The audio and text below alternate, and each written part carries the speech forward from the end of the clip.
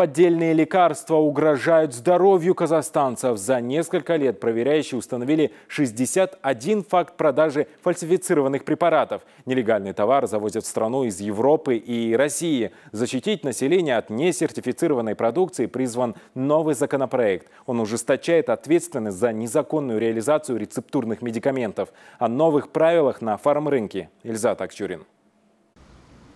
Антибиотики, гормональные и противовоспалительные препараты теперь можно будет купить только с позволения доктора.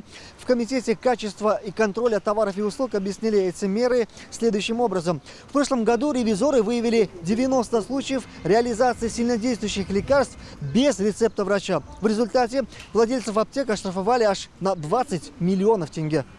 Согласно оценке ВОЗ, проведенной э, у нас в стране, э, указано, что более 50% препаратов, которые необходимо отпускать по рецепту, отпускается без назначения врача.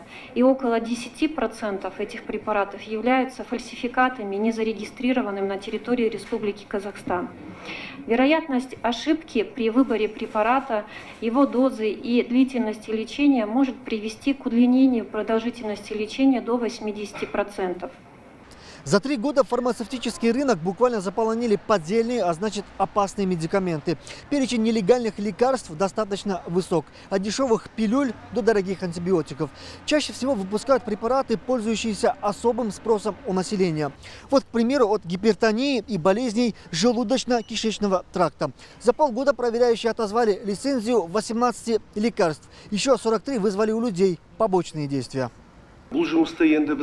Мы собираемся запустить пилотный проект. Он рассчитан на три года. За счет него мы запустим систему контроля. Она позволит нам при помощи сканирования QR-кода вычислять производителя лекарства, дистрибьютора и аптеку, в которой будет реализовываться товар. Мы сможем видеть весь процесс поставки медикаментов, в том числе выявлять контрафактные препараты. В едином реестре числятся более 7 тысяч наименований медикаментов. Из них более полутора тысяч доступны без рецепта врача. А вот за нелегальную торговлю рецептурными препаратами у владельцев аптек впредь будут отзывать лицензии. Такие меры сами бизнесмены называют карательными. Они уже терпят убытки, но в комитете непреклонны. Безопасность и здоровье населения важнее. Ильзат Ахчурин, Нурлан Утигенов, телеканал Алматы, Нурсултан.